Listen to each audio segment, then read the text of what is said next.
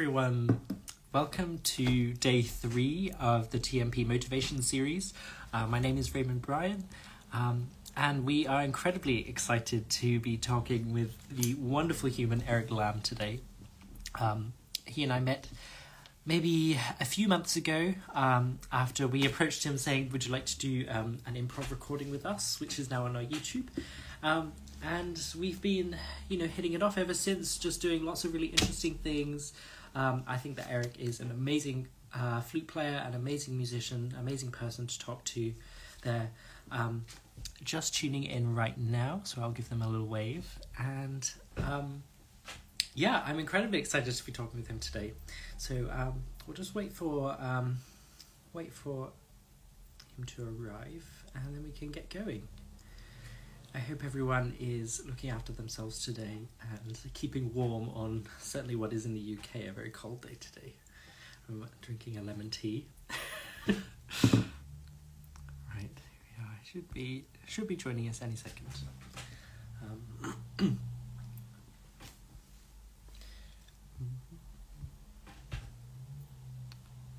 see if I can invite him.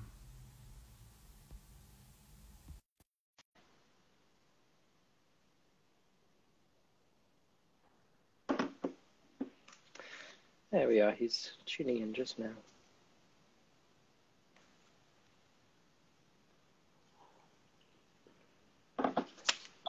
Hey. Hello. Hi. It, it, oh shit! What, how do I do this? How are you doing? I'm good. How are you? I'm good. I'm good. Uh, I'm gonna put you right there. Is that good? that's Can you see me? That's perfect. Yeah. Yeah. The, you've got a nice ball of sun coming from there. Yeah, which is like actually not a good idea. like a, a meteor or something. yeah, exactly. But no, the problem is, is that it's like such a large light fixture that it's really bad for these sorts of scenarios because it's like backlighting. So I'll just hold you. How Okay, about that? that's cool. I will be. Yeah, take us on the ride. That's great. and yeah, thank you so much for joining us today. Um, I just wanted to of course. my friend. yeah, I wanted to talk to you about some things that are going on in the music world and some, you know, it would be lovely to hear your take on a few, a few things that we kind of talked about before as well. Um, Yeah. and I mean, maybe maybe I can just shoot right into it. Um, yeah, let's do it. yeah. Okay. Well, um, one of the things Cheers. that cheers for lemon tea. Yeah. That's not say it. Absolutely. Yeah. it's one of those days. Yeah. Um, yeah. So I guess there's been a lot of tension, certainly in the UK, between, you know, how do we make music relevant in a COVID world? There's been a lot of, Yeah. you know, there's, I, what's been highlighted certainly for me is, I mean, we have technology, which is fantastic, but there's there's definitely been a resistance between trying to connect with audiences again and kind of I hate to say it, but you know, prove our worth in a way as musicians. As you know, why do we need to? No, why why should people be interested in what we do? And I was just wondering what your what your take in, is on that. Yeah, you know, it, it is it is I, I don't know what the situation is like in UK. I living in Austria, it's a bit different. Mm. But like I do see that like it becomes it becomes an issue. Like is it is what we do as artists um essential? Mm. Is it um but a friend of mine um got married recently. Um, super heteronormative, but I love them very much.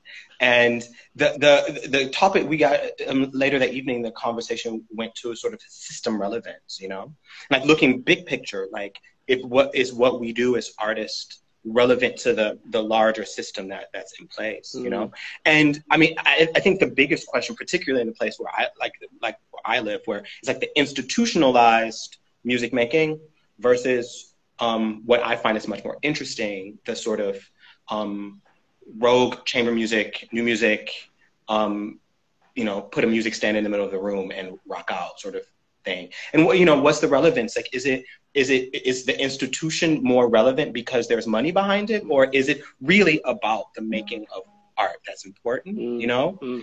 um, here it's been really interesting. Like since things have well, I mean, they're getting worse again, but there was during the summer, um, I was quite active playing and it was interesting to me that like these small these small ships of art making, Mm. like new music ensembles, chamber ensembles, were ready to go.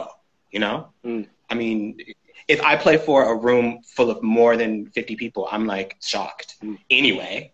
Because, but it doesn't mean that it's important just because people people don't come. It's often a matter of how the institution sort of like how it sits inside of the greater artistic landscape. Mm. You know what I mean? Mm, yeah. and it's all relevant and it's all important. What I find very interesting is that these days, you know, people are coming to concerts. People are wanting to connect to people. I mean, it's it's it's the whole environment and atmosphere around uh, art making that's important. It's Mhm. not yes, the music for me is the center of it because it's what I produce, but for the general public, it's about you know leaving their stressful jobs and getting on the train and putting on a nice pair of shoes and going to meet their friends and maybe having dinner before or after and maybe hearing something provocative or witnessing or being a part of something that's interesting that that um, sparks conversation in a different direction. You know what I mean? Mm, yeah. And I mean, of course, that's like that's like a certain kind of person, a certain kind of art goer. But you know, what's been interesting about this time is not just affected us; it's affected the dance community.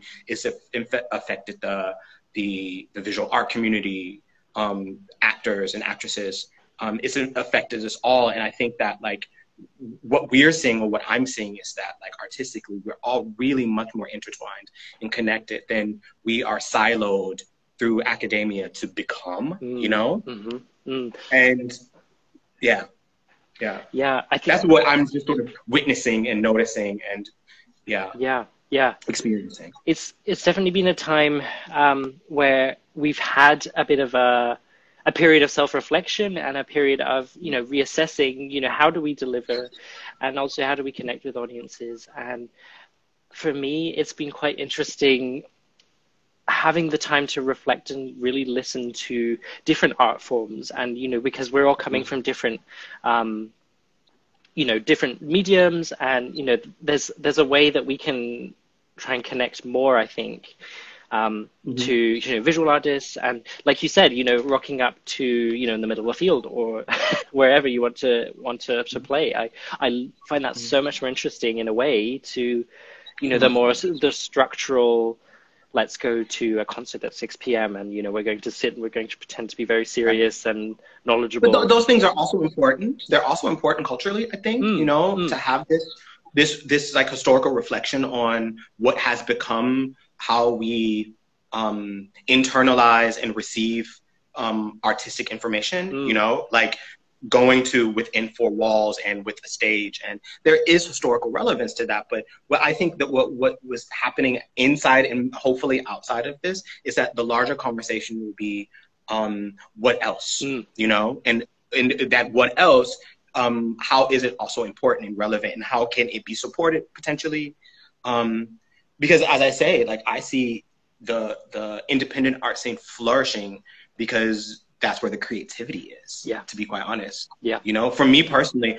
i was like lock me in a room give me a flute and access to the internet and i will i will get the party started Mm. you know well, that's how I came across to you. Yeah, in um, you know, your red um, red sofa series, um, where you you, Yeah. you know you just used the materials that were right there in lockdown, and it was a way to, you know, I loved it. I heard a load of new flute music that I hadn't heard before before, and you know, it was it was a lovely way to, um, certainly for me to kind of have a a, a different way of accessing music. I like that. Yeah, for me it was super important. I mean, it was a, it was a temporary thing. Know, I didn't plan I, I didn't plan on making this my life's work. Of course, it's a part of a whole, but like, and you know, I no one I didn't get any personal like lashback about like doing something that's like not monetary. You know what I mean? You know, but that that was that was a, a general danger and a general like conversation that a lot of artists were having. Like, if you make your work available for free, does that mean that you are you know um, devaluing devaluing the your art and you know I, don't I, I didn't see it as that at, at all and to be quite frank it's an artist's business to disseminate their their work in whatever way they feel that they need to Mm. You know what i mean Mhm. and um, I did take a little bit. You know, it was it, it was n- never any direct criticism from, but just from living in the world and seeing how other people react to other people. Um, that was a conversation that was being had, and you know, I f- I felt strongly that this is what I needed to do in this time Mm. because I had the time finally. Yeah. You know, Mhm. and I I chose the methods, I chose the means, I chose how I disseminated it, and I I chose what was disseminated. You know Mm. Mm. and and I, you know, I, that's generally a mantra that I have, you know, and I tell young people, I'm such an old man sometimes. I think um, I, I tell people this all the time. I'm like, you know, you know, the world is how the world is, and if you if you're sitting inside of it and you want to create something, create something and Mm. do it on your own terms. Mm. Because if you create it, nobody can take it away from you. Mm. You know Yeah. it's yours.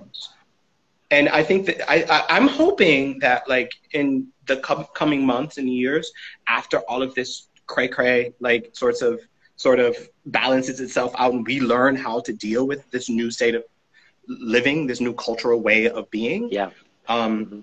this collective way of being that like um, maybe that conversation will be had in places where it needs to be had, like in schools and academia and Mm. you know Mm.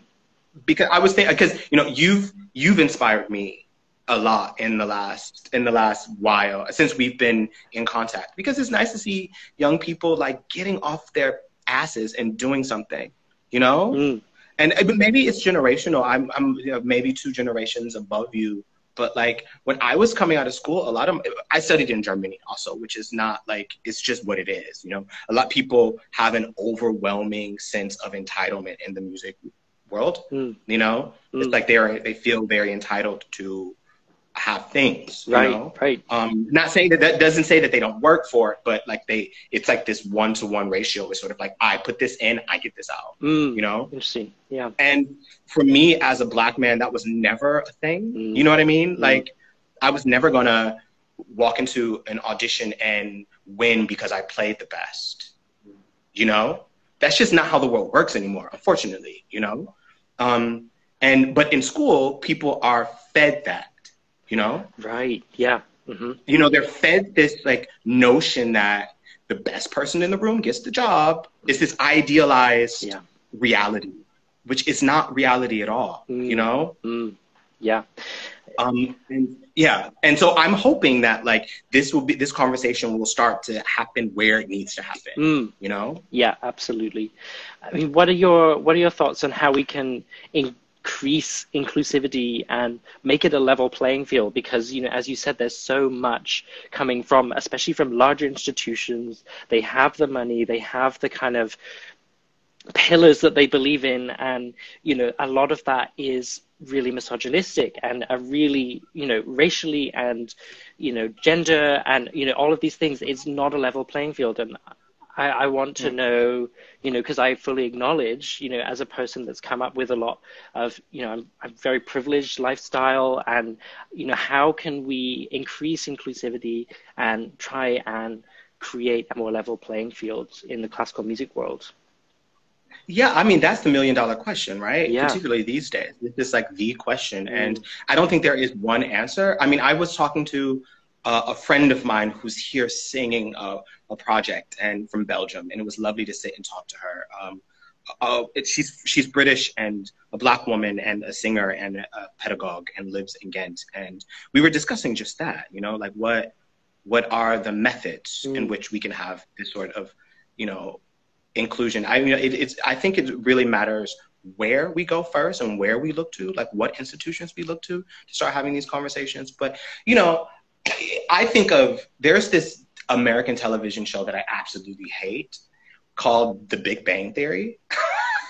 I know it's awful for me to say because people love it, but like I think it's ridiculous because it's one of these television shows that that really talks about and features the like cliche after cliche after cliche. Mm, You know, Yeah. like the disgendered, the disgendered or um, demasculated Asian man and the you know the closet homosexual and all these things. It's sort of like clear to me that there's there's no Asian people, there are no there are no black people, there are no women writing this stuff, Mm. right? Mm.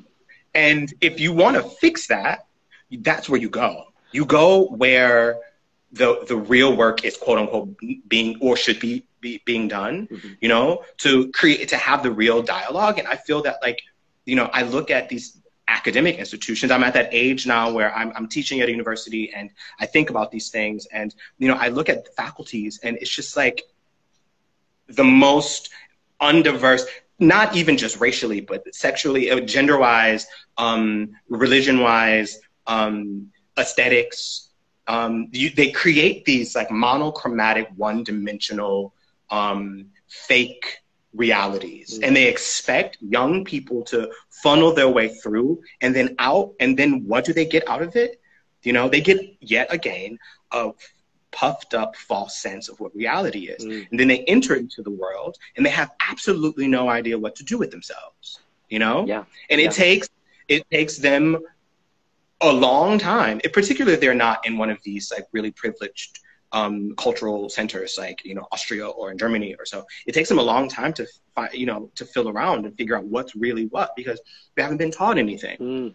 You know. Mm. And that was my problem. That you know, I see it all the time, and I say, let's just actually start hiring, you know, trans people. There, there are plenty of them in the music industry. Let's start hiring black men and women. Mm-hmm. You know, let's let's start hiring people of color in academia because they're out there. Yeah you know yeah and this is what i love about like your work and like because you know that's the work it's the work is to go and find it mm. to go and like instead of sitting in your pajamas and like be like being a part of cancel culture like actually going and doing the work and finding diversity mm. and engaging and connecting and you know like you my mother always said like if you want to get to know someone from a different culture go and have dinner with them mm mm-hmm. you know, mm-hmm. sit at the table with them. This metaphoric, you know, table of diversity. Yeah. And and then you know what I mean? Like, and that's the way to do it. I don't think it's rocket science. I've been forced to do it my whole life. Mm. You know what I mean? Like, yeah. and it's therefore it's not my work; it's other people's work. You know, like, yeah. Yeah. And it's and it's it's not it's not difficult. It just requires work and people are fucking lazy. Yeah. absolutely. And I think it's it's such a, a culture now where we use social media and we use, you know, we can use technology for so many bad things as well. It's so easy to, you know, I was talking yesterday a little bit about um, how on social media we can post, oh, this thing's amazing and this thing's amazing, and we were, you know, we were talking mm-hmm. about um, self worth versus productivity, and um, right, yeah. and you know, we we have these tools where it's so easy to, you know, as you say, the cancel culture, you know, to be able to shunt something off to the side, or an algorithm, or you know, a representation that is just not diverse at all and yeah. it's a it's a real real shame. It really struck me the other day. I was watching um, some just or, some orchestral recordings on YouTube, and every single person was white and middle aged and mostly men, mm. and it was just it was really disheartening. And actually, I thought, well, it's yeah, it's really disheartening and it's horrible. We need to in- increase diversity in so many ways, and that's the first thing that we can do for I think is you know we we start the conversation as you say, um, and we get to know yeah, yeah, people. Yeah, it, it's an yeah, action. Of course, thing, like it, it, it, and it takes work. You know, recently, you know, I have a YouTube channel like other folks, and like, um, and some lovely person was like, "Oh, I've never heard of you before. It's so nice to hear your playing. And that's great." But like that for me was like, "Oh, I've been at this for a really long time." Mm you know, a lot of, you know, I, I work really hard. I find it interesting that I'm still being discovered. Mm. You know what I mean? Like, and that's, that, that means that like people aren't doing that work by like being like, you know, there are, there are, you know, principal flute players and soloists of color. Um, let's go find them, you know? Mm-hmm. But, but that, for me, that's like one of those things that like they, they haven't gotten to the place where you've gotten, where you are actually seeing it for what it is and being like, this is a problem, mm. you know?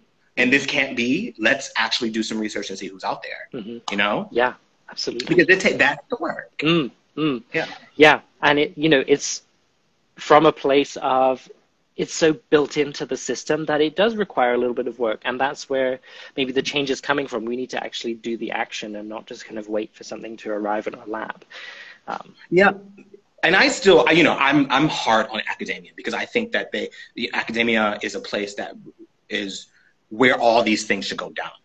You know, Mm. like it should be happening at the Royal Academy. It should be happening at Guildhall. It should be happening. They should be bringing people like me in to introduce Mm. to you. You know what I mean? Absolutely. Like, and and and that's super important at this that that time. Like, you know, when you're 17, 18, 19, 20 years old, that it is when it, when you get it sorted out. Then then when you enter into the world, you have a completely different take on things. But Mm. if you what you're being fed is so white, hmm European, hmm you know, then it's and it's their fault. I'm con- I'm convinced of it because m- my experience was as a young person, um, I grew up in a very very segregated city. Detroit, Michigan, the United States, in the 80s and 90s was the most segregated city in the United States. Mm. For I mean, for me, it was great because I didn't grow up with that like sense of like. Um, Michelle Obama actually talks about this in th- this documentary. Um, of hers on Netflix. That we're not being sponsored, by the way. this conversation is not being sponsored. Um, but you know, she you know talks about like you know I because of that growing up in this like really um, segregated place. All um, all my doctors and you know all of our city officials and all my teachers and you know my, my flute teacher was black. So I didn't think I didn't have this like sense that I was less than. Mm. You know. Mm. Um, and I still don't have that. I'm like, puppies. You know, I just don't. It does not. It doesn't even compute. Um, but and because of that, when I was a young boy, there was an African American man who was doing his master's Mhm. um, uh, at the University of Michigan. He came and for uh, a practice of his master's recital, he played in front of us, in front of our band class, and I was like, I can do all that, you know. And he looks just like me, Mm. you know. Mm. It is possible, and yes, it's great to have you know a diverse student body. Very important. You know, it's important for everyone. Mm. But it's also important to have that conversation, like showing them that they that there is a generation above them and even above them who have been doing the work, and that's a direction that's possible for them. Mm. You know, Yeah. um, and it is it is work, but like that that that's that's the work of the institution. That's not my job. You Mhm. know, Yeah. because I'm too busy or you're too busy. You know what I mean? Like, Yeah. and Mm. I would love to see that being sorted out soon. Mm. You know, and the, why not now? After like you know, because we're finally having these conversations. It's finally okay Mm. to to talk about white privilege and to talk openly about um, our own privilege because I also am a privileged person. You know, like that doesn't mean that doesn't strip me of my my my experience as a black man, but I do know in that I am I'm a privileged person. I'm very very talented. I'm very successful, and I live in Europe, and I have a white husband, and I I benefit from his privilege. You Mm. know. Mm. Um, yeah, but I think this is the time because we can have these conversations openly. Yeah, absolutely, absolutely. Yeah, it's it's a time for conversation, and you know, certainly for me as a white person, it's it's time to listen and to find and to you know hear those experiences, and that's something that I've you know been doing a lot of reading, and it's it's something that you know there's the things that I wouldn't have even computed before. Things you know just in terms of audition selection and Mhm. you know there's so much that's so ingrained into the fabric of the classical world that we need to just shift. And uh, yeah i just think we need to discuss more and more and more and more and more and listen and actively search out those people. I saw something recently as well that was like um, i'm not your um, your trauma porn which i thought was interesting. And absolutely like we, we're not just um, i don't think we should just be looking for someone to tick a box. You know all this like Right. inclusivity like um, make sure we're representing you know that's great in a way but also when you know we shouldn't just hire someone just because they tick a box we should hire someone because there are so many people out there that are representing all these other communities that aren't being given a level playing for uh, platform Yeah, you know, I, I was having this is the exact same conversation I was having today. I find that so interesting. These conversations are so cyclical; they keep coming back over and over again. You Mm, know, mm. like you know, yeah, I'm. It- This is like that James Baldwin, you know, adage. You know, I'm not your Negro. Like, you know, I, I'm. The, the whole idea of tokenism is problematic. I think inclusivity, and I think the I think that like representation is very important. Mm. But see, that's where the work is, right? Because Yeah. like there are a lot of great young um, Asian and African American and African and and and and and mm, you know yeah. that that are diverse and come from very interesting backgrounds who are at the top of their game. But often what ends up happening is that the institution finds the one who has the story that fits. Mm. You know? Yeah. And then they and that's all you hear. You hear about this one individual or you hear and they become the one who's propped up and unfortunately sometimes it happens that they, you know it doesn't last very long because that it's not giving them space to grow, mm. you know? Mm. Um and then inside like inside of these these small collections of people of color who are working really hard it's sort of like why this person and why not all these people? Mm. you know? Why is there only space for one person? You know? Mm. like why is there only space for one story? And I, I don't know. I find that super problematic. I see that a lot happening in in the uk actually. Yeah. Um that you know they that one person is picked out of for whatever reason. Mm-hmm. and you know, no tea, no shade, but like I find it very problematic because th- that exclude that's like a great example of that like classical music exclusion thing. Mm-hmm. You know, yeah. By including one person and only one person, you make yourself feel better, but you make everybody else feel terrible because mm-hmm. you've excluded people. Yeah, again. Yeah. You know. Yeah, because if we if we look at the idea of diversity, it's you know it's not just one person that's going to represent an entire population of people.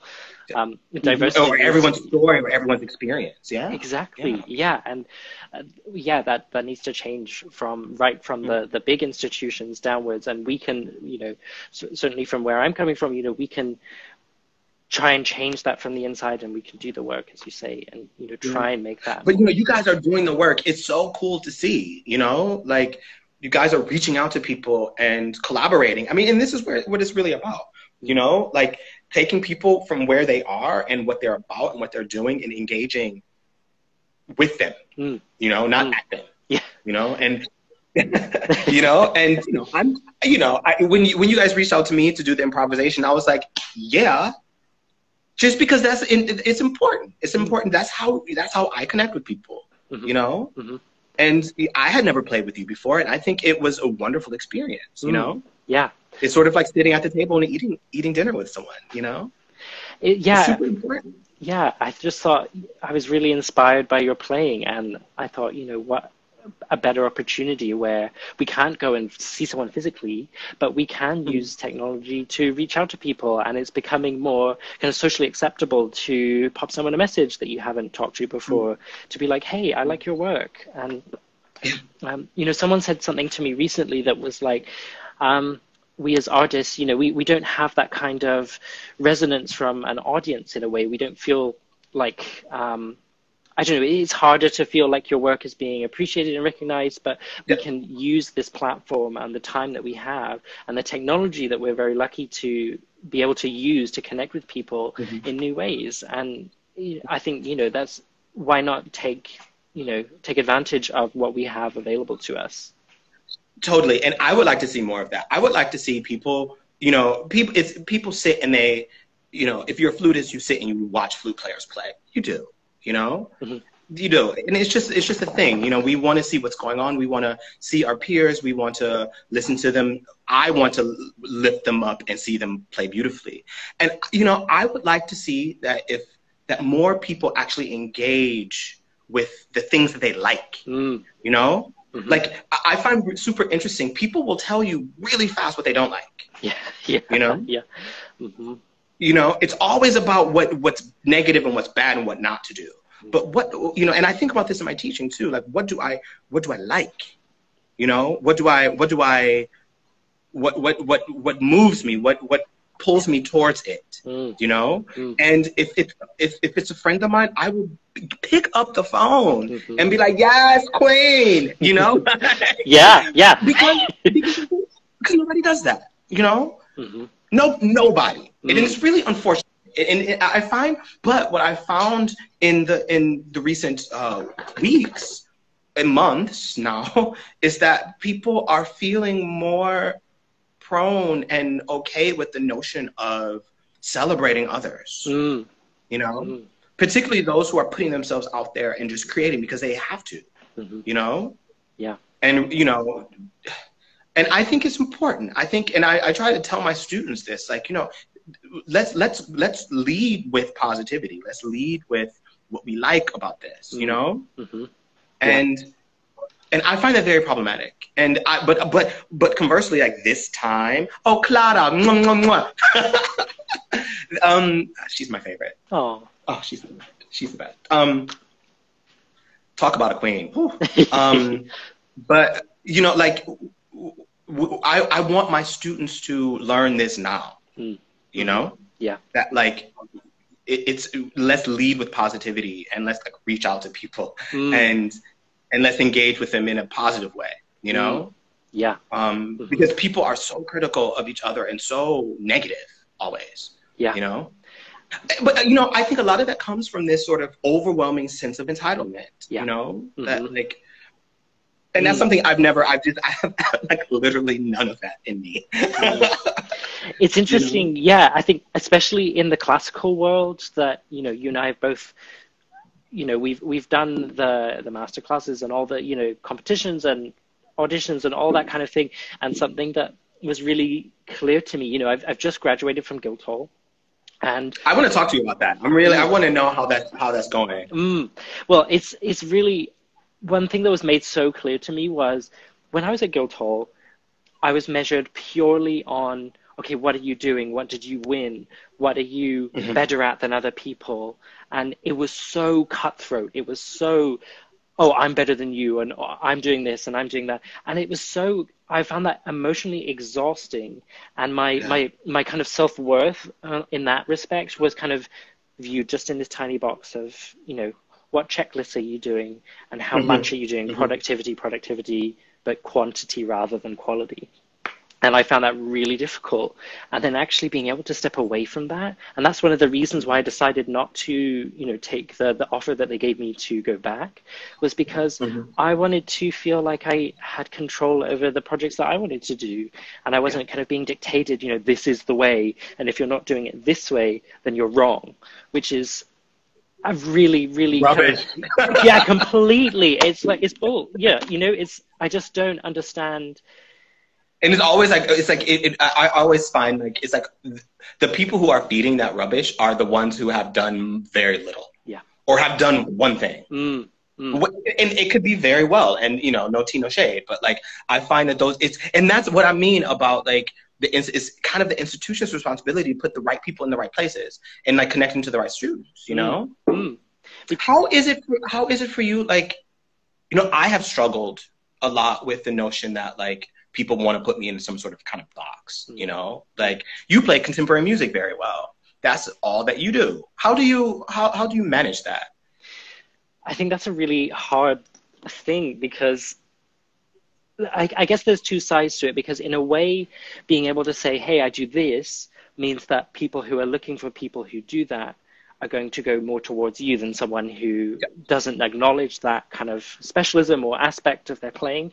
But that mm-hmm. you, it's to, yeah, I totally relate. You know, like being put in a box, like oh, you're a contemporary, you know, or you're an improviser, and then immediately, mm-hmm. especially from people who don't who maybe haven't had experience in improvisation, for example, before, and that they kind of project these ideas of, oh, it's, it's lesser music, or it's yeah um, exactly and I find Yeah. that bizarre because surely the the most interesting thing to me is the spontaneity spontaneity I can't speak the spontaneity of creativity. you haven't even been drinking but yeah, are you sure it's just, it's just tea yeah, I think so, maybe. Um, but yeah, that, that's what I love about improvisation is that, you know, there's such Yeah. a spontaneous amount of creativity that in a way you don't um, necessarily have because, you know, you're ticking boxes and you're making things in the right places with pieces. And, you know, there's an aspect of that that you don't have in improvisation and that can be very freeing. Um, I was talking with someone yesterday um, as well about how we can use improvisation um, because there are no kind of expectations or there don't have to be with improvisation. You can just bring yourself and you can be yourself, and that can be a wonderful way that we could, you know, use as some action to bring in people from you know different walks of life and to kind of facilitate that connection in a new way because Yeah, yeah. you know the, there's no restrictions, there's no you know, there's no tick boxes, and that might be a nice way mm-hmm. to start, you know, including more people. Yeah, yeah, totally. I, I, was, I just, I, the reason why I was, I really wanted to ask you that question is because, like, it's, like I said, it's something that I struggled with, like, coming from like my generation where, um, it's all about market value, you mm-hmm. know, and like when I was a student, um, the fact that you know I didn't burn for a principal flute job meant that something was wrong with me. And like literally, literally, someone said, "Well, something is either something's wrong with you or you really should want to do something else." And I was like, "I just want to do more things, not something else," mm. you know. Mm. And and and I was I'm just really curious about like like how is it these days these days that like you know where there there are because like when I was in my 20s, uh, there were a handful of like full-time new music ensembles, and they were all in Europe. London mm. Sinfonietta, Ensemble Moderne, Klang Wien, and it wasn't the landscape didn't look like it did now. You know, yeah. where there's people are coming out of school playing like Ferneyhough, like nobody's business, and you know, burning for this music and wanting to collaborate in different ways, and that it's like amongst yourselves, it's valued. Mm. You know, mm. and when when I was a student, that wasn't the case. I mean, I I sort of fell into a full time new music position, um, for coming from my education background in the states, that was very new music sort of oriented. Um, and being in Germany where it was very orchestral oriented, but I was able to find ways in order to flex that muscle quite regularly. Um, but in Germany, it wasn't valued at all. Like it was, it's really like you're considered a second class citizen if you don't want to, um, you know, play a lot of auditions and feel bad about yourself and then maybe get a job somewhere random and then, mm. you know, maybe or maybe not be happy, you know? yeah. Um, or maybe, you know, and I feel that like now, you know, knock on wood, like my musical life is very, very rich, and I, you know, I do a lot of different things. But like, it, it's like it's like a catch twenty two because I guess the devaluation when I was younger, and now that like I, the new music is my entry point always. You know, it's like just a skill set but mm. like and i think that like it, it's brought me a lot of different things like a lot of a lot of collaborations and a lot of connections with people to do a lot of things that i sort of projects that i um I curate, but mm. in, to, sort of like move in different directions musically and artistically. Um, but I, I, am just wondering how is the the general vibe of young people leaving school and um, wanting to commit to different ways of music making? Mm, mm. Well, I think there's there's two things that came to mind. The first being um, we all kind of crave working with other people. I think it's, it can be a very, very solitary game if you're just doing auditions and you're, you know, you're feeling rubbish about, you know, you're just playing Beethoven 5 all day, you know. and, you know, there's a place for orchestral stuff and that's amazing, but also working directly with composers is something that I love. You know, it's so mm. nice to be able to work with someone directly on making something rather than a lot of the time what we do with when we play music by people who are already dead is you know we we have to second guess and then that's where a lot of the it should be this way it should be this way right. kind of idea comes yeah. from so i think i think now um, you know certainly from um, my experience there's been a lot of inclusion and acceptance of new music not as something necessarily lesser now which is you know very welcome yeah. and about time but mm-hmm. um, you know, like it's expected that some kind of, um, you know, piece post 1920, which, you know, is still quite old, but um, at least that's something, you know, we're moving in the right direction. It's, that's included as part of your final recital, or that's included mm-hmm. as part of like a, a, technical thing. And I, mm-hmm. I really like that because before, you know, there's still going to always be people who will, you know, just play Schumann and, you know, okay, fine. But well, that's fine. Yeah, Beautiful exactly, music. exactly. I'm I'm obsessed with Schumann, but um, yeah. yeah. but I think yeah, including 20th century, 21st century, working with living composers um, in the repertoire is something that's definitely being more common now, and mm-hmm. something that's being encouraged. And yeah. I think a lot of it might have to do with um, funding. And I've been thinking a lot about, you know, I've been doing lots of applications and all these kind of things mm-hmm. recently with, there, there's a lot of um, monetary support to try and get commissions. And there's a lot of kind of, mm-hmm. you know, encouragement to try and work with new works and new composers um, mm-hmm. of a whole, you know, a whole host of different experiences. And um, I think, you know, that's, that's great. I think we need more of that. Um, mm-hmm. You know, I think it's a shame that, uh, you know, certainly from where I was coming from in Guildhall, there's still a lot of, um, oh, you, you did some Berio, like that's very adventurous of you, and you know how how brave of you. And I remember playing some uh, Rebecca Saunders and thinking, you know, everyone was like, why aren't you playing? You know, why aren't you playing Schumann?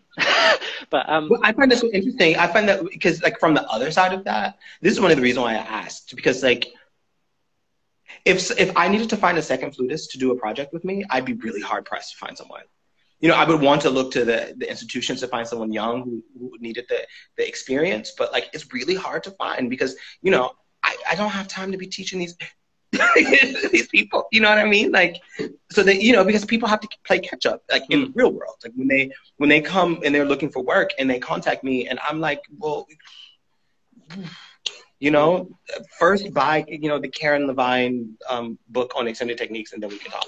Yeah. You know what I mean? Like. Yeah. And for me, it's easy to say because I've been, you know, I've been doing this since I was like 18 years old. But like, you know, it, this is 2020 you would expect that the, you know that it would be my cup would be running over with flute players who could do all this stuff but that's not the case you know there's a handful but like mm. and it's good to hear that like in certain institutions it's becoming a part of the curriculum mm. you know yeah that's really cool to hear yeah and it's um yeah, it, certainly, you know, at Guildhall there was a lot of uh, there was a lot of new music, and you know, I was I made it my purpose in a way to be really active in that. Um, mm-hmm. But it was uh, it do, it does feel like things are changing and people are interested in new music, and it's because you know you, you if you, you have to explore it, then you're going to find all these amazing things, and actually there will be something that you know you're really interested in. Because you know it's yeah. it's it's often still being put in a box, isn't it? I think you know new music is uh, all these crazy sounds that we we wouldn't. Yeah, but it's to, like yeah, exactly, exactly yeah there's so much diversity in new music you know mm. that's part, part part of the reason why i sort of still gravitate towards that community because there's like there's so much diversity in, in aesthetic and style and notation and there, therefore is a lot much more diversity and openness to having people who are from different places mm-hmm. and look different and who have different musical ideas and there's much more dialogue with mm. the music and than than in the sort of the standard status quo orchestral sort of full frontal mm. sort of thing mm. and i found a lot of um, a, a lot of support in that because like you know i'm who I am, and I'm quite unapologetic about it. And being able to sit in in in uh, in the new music constellation is a kind of a really good fit mm. for a person who who just generally wants to, you know, to be inquisitive and do real work and be mm. really sort of hands on and have real dialogue with people and musicians about real important ideas and move things forward. You know. Yeah. I have I have a, I have another question for you actually, um, because it, I'm really curious. Like, as a person who deals with a lot of composers, often my I, I run into the issue of the impracticality of a lot of of composers because a lot of them aren't working instrumentalists and musicians. But you are a performer composer, and like what I find very interesting is that like that is the norm. It should be the norm, actually. You know, like Mozart and Bach and they, you know, Schubert and and Beethoven. They were all performing musicians mm-hmm. who were also composers. It was, of course, a much different time, but somehow through, you know, the the 20th century has created this paradigm in which um, composers are no longer expected to engage with music in a practical sense. Mm. And how do you, as a composer, performer um, sort of deal with those that that sort of reality of how things has have become and how you actually function mm. that's a it's a tricky question because I, I think for for a lot of us it's like composer performers or the other way around and it's it's a very personal thing i mean for for mm-hmm. me my process has always been the way the way i used to compose all the time was I would just improvise at the piano, and I would think, I would try and just find things that I wanted to describe or things that just really sit, you know, sat well with me, and then mm. kind of mm, you know, just manipulating the sound that way. But I think there's there's a lot of well certainly kind of like we were talking about with like the entitlement of you know i put something in i get something out attitude um, i've been thinking a lot about how we as well I, often in the classical world will be like this, this composer you know they're, they're a prodigy and you know they're an amazing deity that we mustn't you know upset and they're kind of put on this pedestal and not kind of mm-hmm. humanized in a way and i think that mm-hmm. a part of the the way that composition in my experience has been taught is like, well, you know, wow, you're a genius, and then anyone is like a, you know, a, it's a pleasure for them to play your work. And actually, I, am not interested in that. I want to just work with someone and create something. And mm-hmm. mm-hmm. um, yeah, I don't know. It's it's an interesting dilemma, isn't it? Like academicized ideas of composition versus, you know, this is how we really do it. Um, this is how the real world works. And mm-hmm. um, yeah, yeah. So I found myself and you know, I'd encourage anyone that plays just to write something for their instrument. You can learn so much about how you interact and what your habits are and what you feel in your playing and what sits well with you. And um, I th- yeah, it's it's an interesting one. Um, I think that's that's how improvisation kind of came across, uh, came into my life for me as well. Mm-hmm. Was um, using that as not only a tool for composition, but also just a tool to figure out more about the clarinet and more about yeah. how other instruments interact with each other. And that's such a mm. lovely way to hear um, kind of, you know, you can listen to all these amazing recordings and things, and you can go to live concerts. But if you're in a place where, um, like I did a conduction ensemble a few years ago, and if you're in a place where people come together and they make any sound that they want. And they're coming from a place of, well, I know my instrument really well. These are the sounds that I can do. I've heard so many crazy sounds that I would have never even yeah. thought of before because these people are coming in and we're doing like a collective improv or we're doing some mm-hmm. kind of like, and I, I, just hear all these amazing sounds. And I yeah. think that's that's a way that we can try and extend the knowledge of you know what's possible in each instrument and kind of more of an understanding. But yeah, I, th- I think there needs to be more composers working directly with performers and I love that process because that's yeah. that's where interesting work comes from in in my opinion rather than just like well you would never understand what process I'm doing in this piece but here you go give it a go you know yeah yeah, yeah. I agree. I agree. I, I um, taught in New Zealand at the University of Auckland for a few years, um, and you know, it, it, wasn't the easiest time for a, a, multitude of reasons, but one of the joys of my time there was I I led um, a class um, for two years of a, well, the original idea was to start a new music ensemble, but it became clear to me that the the levels of of technical proficiency were so disparate that that wasn't really um, possible. But so I sort of decided to turn that into an improvisation class, mm. like an ensemble that improvised. And it was interesting, like, you know, it, it started off where, you know, there was like one or two people and a lot i had the support of w- one professor in particular who was quite lovely the violin teacher there at the time and um, and it spread like wildfire. I couldn't keep them away. It was fantastic.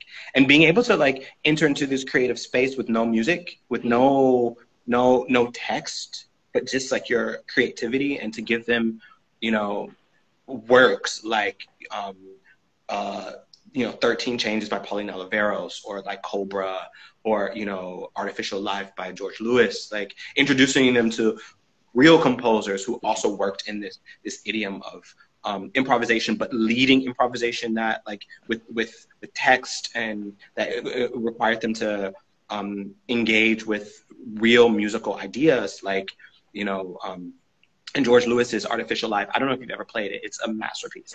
I, I haven't. Um, you know, it's something that you guys 100% have to play because George Lewis is a genius. He is like the best. And this piece is something that I performed a lot, and it it really um, helped us also with our dynamic as an ensemble, as a group of people. You know, you you discover that why is it that one person always starts and that same person always ends the improvisation? You know, mm. like that's like the dynamic of the ensemble, and let's talk about that. You know, yeah. mm. and why is that problematic? And being able to for for these young people, I you know I really worked hard to um, engage with them in a very musical way. Like we were talking about very specific musical ideas in the context of improvisation, but like like listening and like tuning and you know playing with each other and learning other people's instruments and learning how to respond honestly. Um, and it was for me an amazing experience, and for them, I know that they were all they would leave every week like like resonating completely different. You know, mm. I think it's super important. I mean, that's the closest I've personally got to composition. You know, mm. um, impro- improvisation. Mm-hmm. Um, I've never, with the exception of a, few like classes in which I had to write down music, and and you know, not to speak of theory and all those things, but like, um, I've I've I've that's the the, the direction in which I've only I've really sort of dabbled in the creating of music. I've I find that like I'm like a ballet dancer, like a really well trained ballet dancer. You know, like I, I I'm good at being people's work being put on me. Mm. You know, or people working with me as a tool, as an expressive tool. You know. Mm. Mm-hmm. Um, but that also is sort of like a, a huge responsibility artistically, mm. you know, because yeah. like through you, through you, um, the music lives, and you, you know, one is as a vessel is is creating a performance practice in real time mm. and you know yeah it's it's a it's a it's kind of a big deal i find it's very important work like yeah. you say working working with interpreters i think it's from our side too as from the inter- interpreters side it's it's mm. super important and intense work and we, we we see so many examples of it from you know from beethoven's time to our time of you know music living through people and th- those people being advocates for works and composers. Mm. And how is it with you? Like, you know, are there, do you find that there are composers that you're drawn to and that you work really closely with them, like in this symbiotic way? Like a great example in, in the flute world is Camilla Hoitenga and Kaija Saariaho. Like she has written everything for flute for this one person. Mm. And it has really changed the landscape of through performance practice. Mm-hmm. And I've been very lucky to be able to work with both of them quite intensely. And I, you see it, you feel it, you smell it, you know? Like, mm. it, it, are there composers that you sort of gravitate to and really cling on to? Yeah, I think um, a couple of the, you know, weird. I, want, I don't want to say older, but they are kind of older, like the the Sciarrinos and the Stockhausens.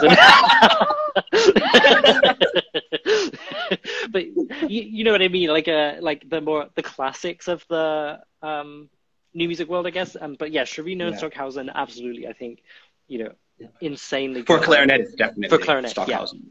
Yeah, oh, yeah, definitely. Yeah, yeah. I, I just love everything about Stockhausen. I think he was. I have so many issues. let's talk about them. Let's talk about them. no, no, let's not. but I, I mean, for clarinet, there's a lot of really interesting yeah. repertoire there. But um, yeah, of course. Uh, yeah, and then you know, living composers. Um, Derek Douglas Carter, actually, I've loved working with. Um, we had a kind mm. of we we hit it off on the wrong foot because I, I asked him to write a piece for me, and then um, life got busy, and then it was postponed a few times and things. But uh, mm-hmm. eventually, I, I ended up. Um, you know, we, we get on really well now, and it's great, and it's fantastic, and yeah. it's been amazing to to work on um, his pieces. I did a piece of his recently called Chocolate, um, Work. I love the title. it's really cool. It's really cool. And it was it was one of those times where um, I was able to. I feel like I was doing something really positive in giving his work a voice, and his mm-hmm. this this piece was all about. Um, kind of growing up for him as a black person and as a you know in that world and he wrote a poem mm-hmm. about it and it was it was Beautiful. it was an amazing piece i love it and it was very very different mm-hmm. to um, you know, there's a lot of text and speech involved, which is um, not something that you know we often get to do um, yeah. in the new music world. So, it, I mean, you know, there are a lot of pieces out there, but for me, I haven't done much mm-hmm. speech speech stuff. So that was really cool, mm-hmm. and I was able to. Um, I was really excited to work with him and to give his piece a voice um, here in the UK, and um, I think you know that was a huge privilege to do that. And and I um, think it's also our responsibility as interpreters mm. to go out as we talked about, like sort of leading us back to where we began, like to doing the work and finding these people mm-hmm. and finding finding not only work that speak to us, speaks to us and composers that sort of like we jive with, but also sort of taking that extra step and being like, who are these, you know, composers of color? Who are these women composers who I don't know, and why don't I why don't I don't know them? And mm. let's fix, you know, yeah, that's yeah. That's great that you've done that. Yeah, yeah. It it reminds me of um I'm slightly obsessed with Pamela Z's music at the moment. I'm not sure if you know her stuff. I love her. she is amazing. I, am obsessed with her um, her piece Bone music at the moment, uh-huh. um, mm-hmm. and it's just the way that she kind of incorporates the idea of improvisation um, and all these amazing, crazy vocal sounds and you know mm-hmm. electronic processing. And oh, for me, that's right up my street. And she's just an absolutely amazing person. But um, yeah, that's awesome. I love to hear that. I, I, you know, that's the that's the thing about New York and that's in London that are so different than continental Europe. That like, mm. there's much. Mm, you know, there are a lot of composers in continental Europe, but like, I find that like it's like, it's like this. It's like this la- layer of composers who are like lauded and put on pedestals and who are like Jesus Christ, and then there's a whole bunch of people who are just pissed off because you know they don't get the opportunities that other people get. You know, mm-hmm. and um, and there's and but in, like in New York and in London, it's like the stream is a little bit, you know, more even, and people are doing really cool stuff, and there isn't this general sense of like, um, is what's the good English word for like jealousy, you know? Like mm-hmm. people are just down to create and make music and reach out to people and be their true authentic selves without being influenced because that's what's popular, you know? Yeah. Yeah, yeah. You know, and like the aesthetic, the aesthetics are like really uh, much wider. You know, mm. in London, New York, for instance. You know, like you can live in New York, and what I loved about living in New York as a flute player of new music is that like you know one day I can be playing my buddy Nico Muhly's music, who I is literally my favorite person in the world. Quite literally, I love him so much. I talk to him every single day. you know, and I play his music, which is what it is and it's its own thing and it's very unique, but it doesn't sit over here in this like uptown new music, Columbia mm. University, Tristan Murail, Haas sort of thing. It doesn't live it, two completely different lanes of music that's being created right now. Mm. You know, mm. and I love the that dynamicism of that sort of like living and working environment where, you know, and it didn't make me less of a musician because I worked with him or with him or with her or with her. You know, it was just what you do. Mm. That means means you're just versatile, and mm. you know that pays. Mm. You know. Yeah. yeah, I, I I love that about London too. That like there's mm. just so such a diverse aesthetic, um, like you know, tapestry. You mm. know. Mm. It's yeah, it's an interesting kind of going between art for art versus art for a purpose or for box ticking. And there are so many mm kind of variants within that. But um, mm I'm much more interested in a lot of ways in creating for the sake of exploration and for you know facilitating something right? and yeah, yeah, yeah, yeah, exactly rather than it just being you know a box ticking thing um, yeah. i have just um, instagram has just told me that we have one minute and 42 seconds remaining Okay. Wow. Really? Already time flies when you're having fun. I know it's crazy. it's been oh, time has gone so quickly. Um, but I guess is there anything in the last minute or so that you'd like to to say about you know tell us about the work that you're doing, your albums, and all all that kind of stuff? Uh, so um, the PR thing, um, which I'm terrible. Plug, plug, plug. Yeah. plug, plug, plug. Um, I have a new. I have. I'm dropping a new album, which is very true. I sort of like in the COVID time, like I decided to sort of out of the whole red sofa experience, I decided to make a, a, a best of album. It mm. being like you know, and, and went to the studio a couple weeks ago and just laid down like a crazy person. Like in like six hours, I like recorded everything. Um, but the Berio Sequenza and um, Cassandra's Dream Song, like you know, just like the standards that you know, I feel that I have have something to say and want to put it out there. So that'll be out um, hopefully in November, December. And just, uh, you know, if, if all continues to be as they are at this moment, then I have some concerts coming up, which is really cool. Um, mm. And we'll see where we go from there, you know, day by day. Yeah. Some teaching, I have a new teaching job and some new students, which is kind of cool. Um, you know, a lot of responsibility and it's nice to have these conversations to keep me sort of like Mm. awake, woke, as the kids say. yeah oh that's that's awesome and maybe you could send me some links and i can you know share them around and things i've got five seconds left thank you so Okay. much eric Thank you're the you. best You're the best. and i'll see you later